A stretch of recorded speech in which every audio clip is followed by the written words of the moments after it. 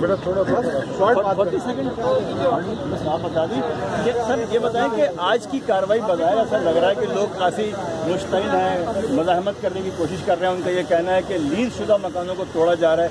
उस हवाले से क्या मौका है आपका? जी। बहुत शुक्रिया। आप लोग जो मीडिया है वो कवर कर रहा है। महमूदाबाद कवर किया हुआ उनके नाला कवर कर रहे हैं। बाबूरंगी नाला भी आप लोग कवर कर रहे हैं।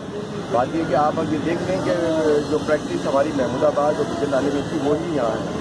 हम किसी रिहायशी मकान को जब तोड़ेंगे, जब उसका कंपलसेशन को दिया जाएगा, अभी सिर्फ़ इंक्रोच में जो सॉफ्ट इंक्रोचमेंट है वो रिमूव किया है हमने कोई घर नहीं तोड़ा और जब तक नहीं तोड़ेंगे, तब तक उसको कंपलसेशन नहीं दे सकते गवर्नमेंट के मुताबिक अच्छा बाज़ लोग ये इल्ज़ाम लगा रहे हैं कि कुछ लोगों को छोड़ा जा रहा है, उनकी योजना को छोड़ा जा रहा है और कुछ लोगों को जो है वो लपेटे में लिया जा रहा है। देखिए, हमने अभी हार्ड इंक्रोचमेंट जब शुरू ही नहीं की तो छोड़ने की बात बहुत बात की अभी हम उस सतह पे आए कहाँ हैं? वो काम ही शुरू नहीं और किसी को नहीं छोड़ा जाएगा, ये जो लेआउट बना है, जो नक्शा बनाया है एन यूनिवर्सिटी ने बनाया है, उनकी स्टडी है। और बाकायदा स्केल में ये नक्शा है मेज़रमेंट के साथ है, एक इंच भी नहीं छोड़ा जा सकता। और उसके बाद जो हमने ये जिन लोगों के हेडओवर करना है, जो लोग इस नाले को बनाएँगे, वो भी हमसे मेज़रमेंट के साथ ही रहेंगे। सर, ये बताएँ कि नाले के दोनों तरफ़ क्या वाकई तीस तीस फुट कटाई होगी या? देखिए, नाले के दोनों साइड पे जो है तीस तीस फीट का रोड है और यहाँ से बीस फीट शुरू होके इसके पाँच सेक्शन है।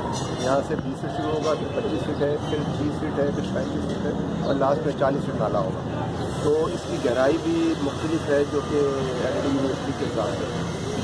जो पिछले दिनों सैलाब की सूरत आज की शहर में इतनी अमवात हुई आपको बताएँ उस उस सारी सूरत हाल को सामने रखते हुए ने इसकी स्टडी अजय फरमाइएगा कितने दिनों का ये प्रोसेस आपकी नज़र में नज़र आ रहा है? कितने दिनों में आप ये औरंगी में देखिए जिस तरह महमूदाबाद नाले के जो इर्द गिर्द रहने वालों ने कॉपरेट किया तो हमने एक महीने के अंदर उसको क्लियर करने के बाद एफडब्ल्यूओ के हवाले कर दिया और अब एफडब्ल्यूओ रोड बना रही है। कोई छुपी हुई चीज़ नहीं, कोई जाके देख सकते हैं मीडिया भी देख सकती है पब्लिक भी देख सकते हैं।